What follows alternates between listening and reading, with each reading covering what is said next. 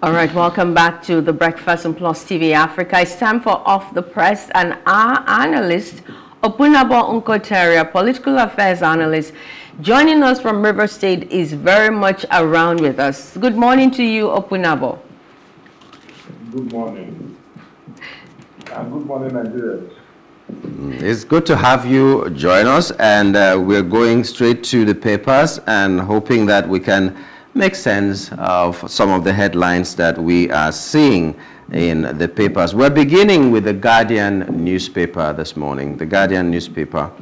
And uh, the biggest or the boldest uh, headline there is Economy, Rule of Law, Foreign Policy, Security, Top Agenda for Nominees.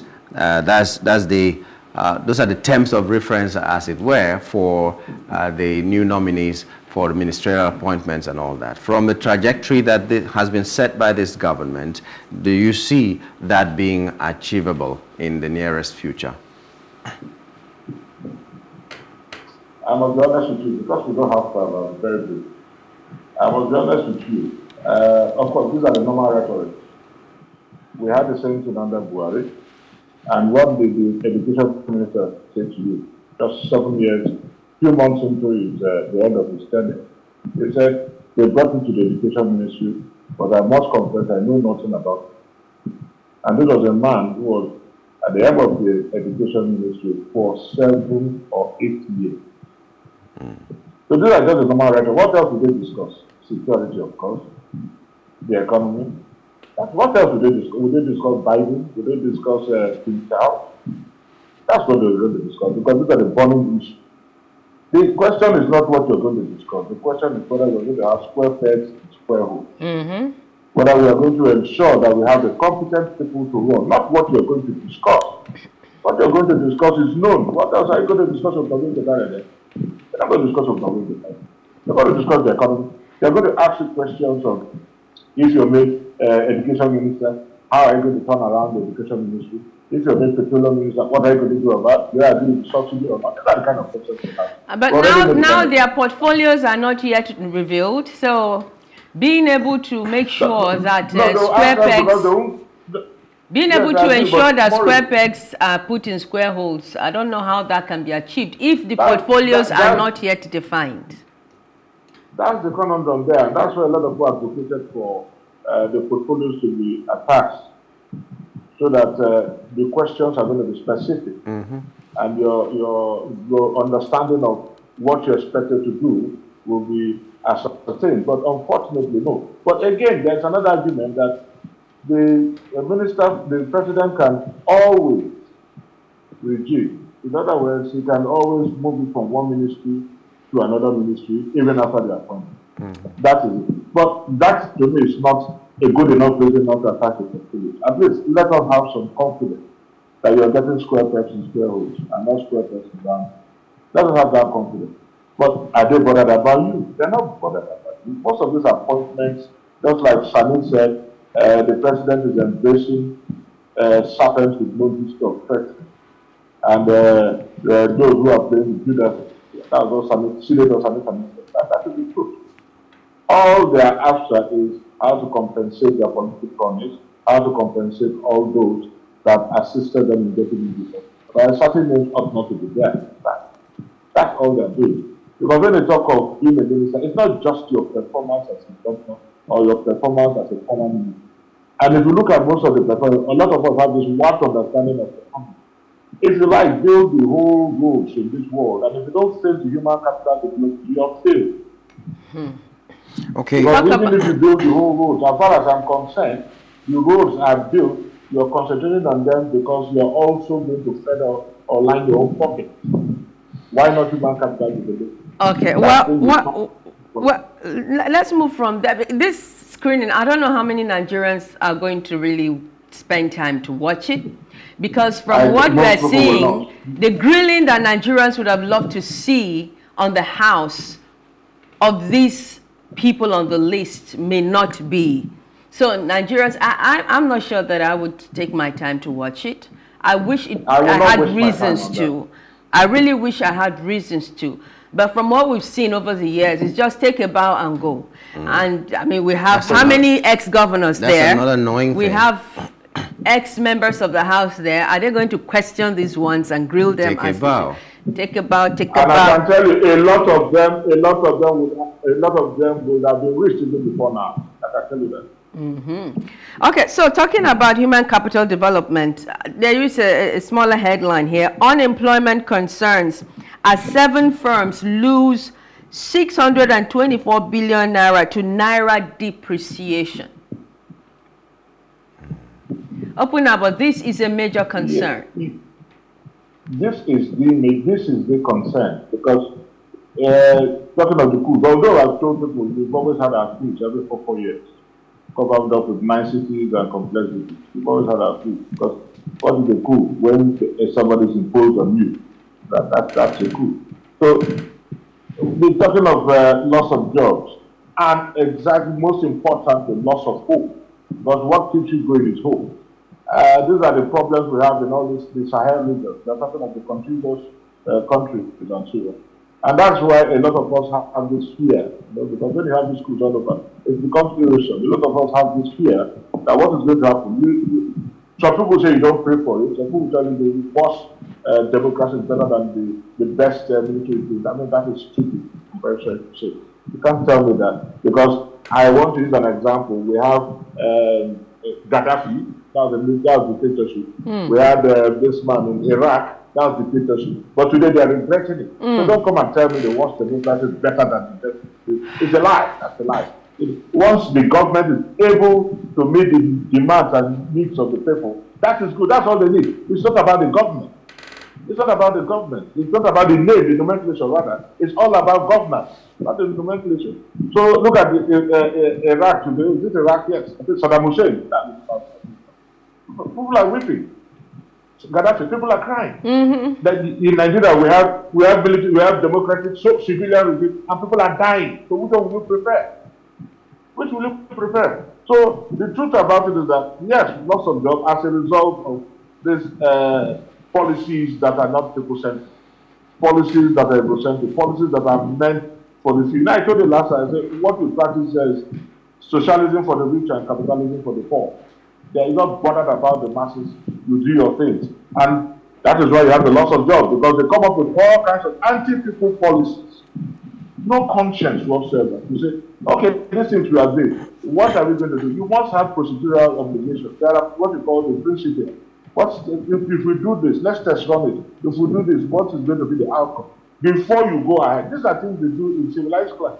And you come here to tell me, for example, petrol is uh, Nigeria is, uh, is uh, petrol is least expensive in Nigeria. How can you tell me that?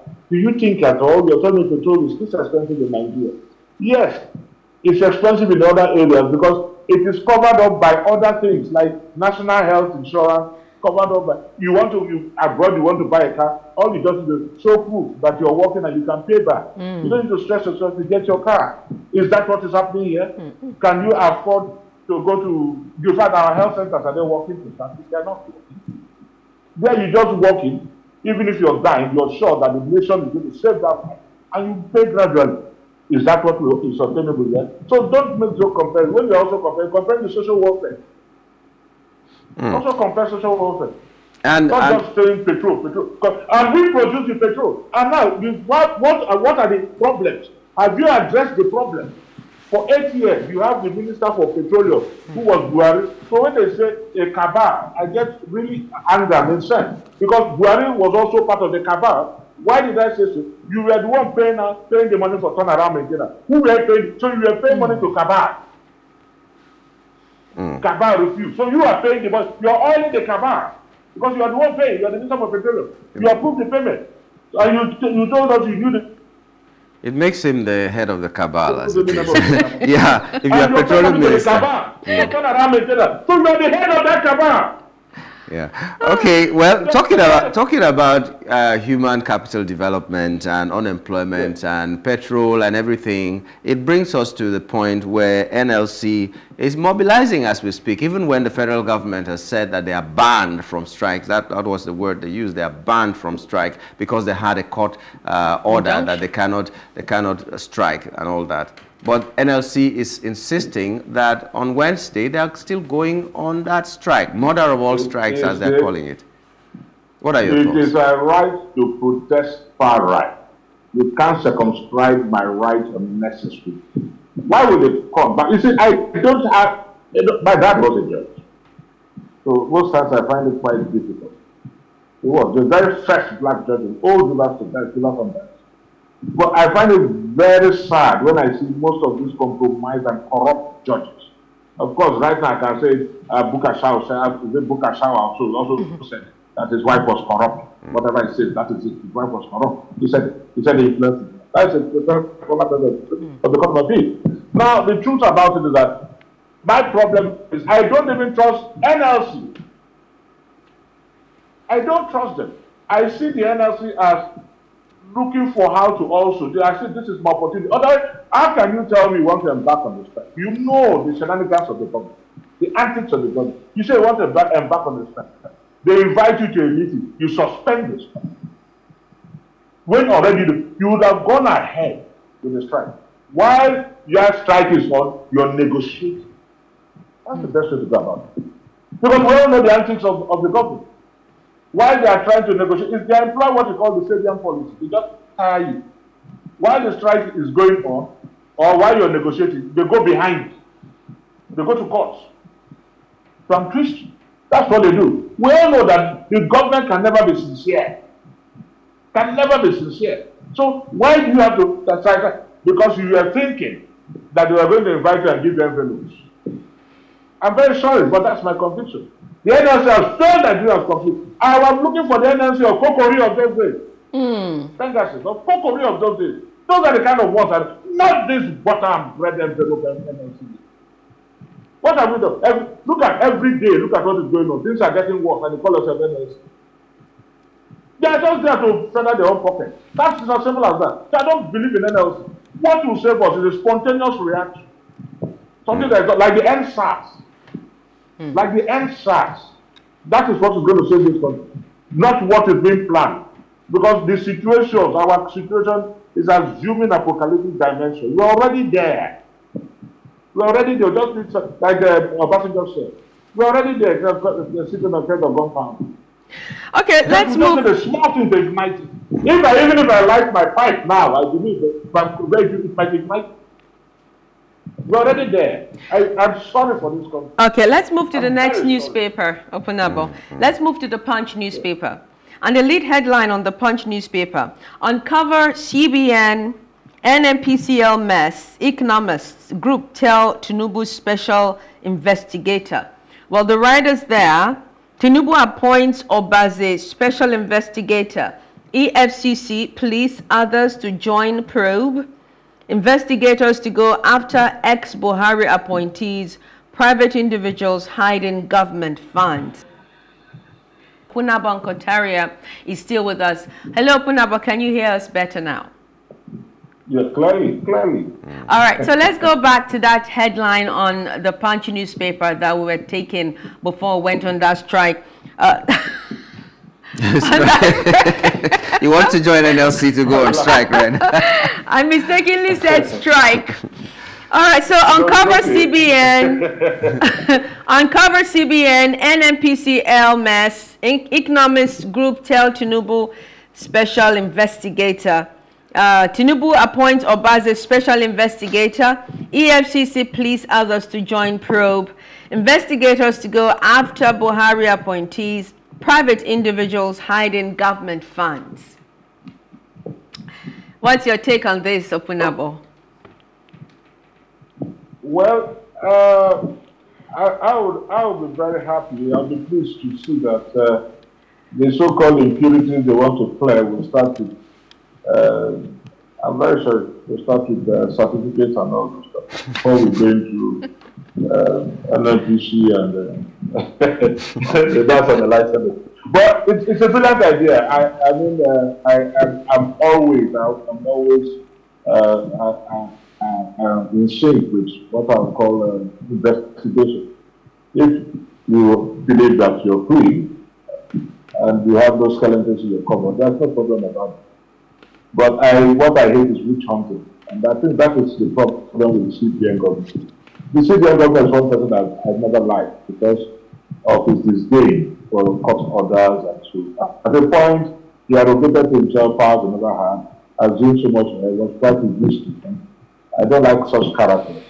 But that does not mean that uh, for whatever it is, that anybody should treat him as um, a common criminal, even when the court has not pronounced him one. Otherwise, I'm so happy what is going on with the CBN. I'm very frank, very very happy. So that they will learn that in office, it's, it's function, and that everybody is equal in the eyes of the law. Mm. Now, having said that, talking about NNPC, I have my sincere doubt. Because, mark my words today, if NNPC is genuinely proved mm. And the white paper is out, the president of the country will be involved. Because he was with Wando and so on. Mm. When we are doing all the turnaround maintenance and all this stuff. When we are fleecing our credit dry, the president was fully involved with Wando and other oil business. So I am waiting to see that investigation. That's the most important. Mm -hmm. It does appear that the CBS own, the, the CBS own is because the policies were anti the president. He said it himself. Remember, he said those policies were against him. He said it, not that Bukago said.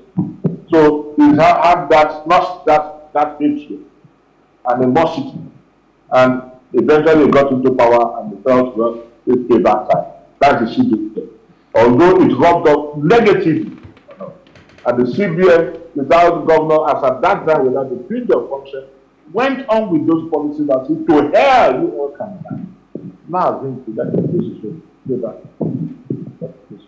I want the rule of law to take its place, but I pray that he will become big as my prayer for him. Because he started to generate the whole problem we are having with all those ill-applied policies. Yes, this started. Yeah, then the yeah. issue of NNPC, I am waiting to see. Buhari will go to jail. Mm. But, but uh, uh, the, the, unfortunate thing, the unfortunate thing is that um, NNPC is not part of the terms of reference as it is. It's only the uh, CBN. So this investigator, yes, his assignment is oh, to investigate okay. the CBN. Oh, but it is economics. It is economics and groups. Yeah. yeah. It's economists oh, and groups that are saying. They are saying include NMP. Exactly. Yes, yes. Exactly. Yes. Oh, it's not, oh, they, they, they, not, I was wondering. I, I was wondering. They will not investigate NMP. Because they are involved. They will not investigate. Owando, from Owando to turn around maintenance to the ones Buhari paid, Buhari was minister for Petroleum, he will go to jail. Because Buhari himself said the fraud, the fraud in uh, uh, subsidy was so much that the federal government could not continue. That's what Buhari said. Who was in charge? Who was paying the turnaround? That you remember that you hated an event. You call this fraud, yes, you see. Who was the minister for petroleum? Buhari. So what are we talking about? So Buhari will go to jail. And I'm waiting to see that day that he will be in prison the second time So that people will learn. So that people will learn. The first one, people were not happy because they felt he, he was a man of rectitude. Now we come to see They said the moon moves slowly, but I gave it as close to sky. That Idiagbo was actually the man of faith. Not Buhari. Not Buhari. And Tinubu too, they should not bother themselves. Tinubu will not investigate anything. He will not, because they will trace it back to Wando and all those. he will not now. Well, no, they should leave that one. So, anything concerning investigation, concerning the water certificate, uh, the petrol, anything, they should just forget it. Oh, well, Kano, all right, let, us touch a bit on Kano. Uh, Kanu returns to DSS uh, custody after checkup by a personal doctor. Uh, we, we, we learned that he was allowed to go see his personal doctor, and then we also learned that he has uh, returned to the custody of the DSS. Uh, does this disappoint you, Opunabo? Are you one of those who believe that the first step in bringing peace to the Southeast is to release Nnamdi Kanu or not? No, no, no, no. You see, the truth is, you don't stampede the government in such manner. Otherwise, you're going to have pockets. Like now, you see people brandishing guns and so on. Then, what mean, about the court order? What about the court that, order? That, that has ordered his the release? Court order, mm -hmm. The court order, I completely agree. But don't forget, can also jump bail. And this case is complicated. He but, jumped bail. No matter the how complicated it is, shouldn't the court orders that's be... That's what, no, the point, that's what I'm saying, more. The point I'm making is this. You know, there are conflicting court orders. That's what we should also understand. And where you have conflicting court orders, of course, the first takes preeminence, no doubt about that. Because they apply their court of co-equal jurisdiction. Of course, the first should take. The, the only court order that should supersede to be a superior court. But that is one. We agree the court has given orders. Because the country, the DSS must obey. I don't know why that the DG of the DSS, I don't know what to still there. That man ought to be in jail, right?